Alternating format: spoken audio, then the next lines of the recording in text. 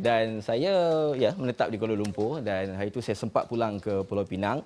Saya bertemu salah seorang anak muda yang mana dia tinggal di Jelutong namanya Akmal Zakaria dan Akmal uh, dalam reaksinya ataupun uh, dalam temu bual itu uh, dia kata uh, Pulau Pinang ni okey, tak ada masalah. Cuma masalahnya adalah kos sara diri yang sangat tinggi uh, disebabkan uh, ekonomi semasa dan pada masa sama harga rumah yang mahal. Jadi memang betul, harga rumah di Pulau Pinang itu mahal. Dan saya berkata kepada Akmal, apa jalan keluar untuk Akmal uh, hadapi uh, perkara-perkara ini? Uh, jadi uh, saya sempat temu bual Akmal, kita ikuti uh, temu bual saya bersama dengan Akmal. Okey, kita dengarkan apa yang uh, cerita anak muda Pulau Pinang nama Akmal ni.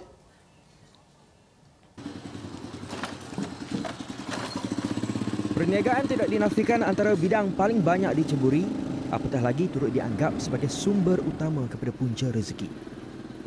Sedar akan perkara itu, Akmal tidak mahu ketinggalan mencuba nasib walaupun berdepan pelbagai cabaran. Selain bekerja di kilang, saya juga terpaksa mencari duit lebih dengan membuka perniagaan untuk menampung kos sara hidup yang makin tinggi sekarang. Cabaran untuk membuka perniagaan bagi saya ialah modal. Cerita Akmal tidak terhenti di situ. Tanpa berselindung, Akmal mengaku impian yang masih belum tertunai adalah memiliki kediaman sendiri. Bagaimanapun kata anak muda ini, mustahil untuk memiliki kediaman di Georgetown memandangkan harga pasaran terlalu tinggi buat dirinya.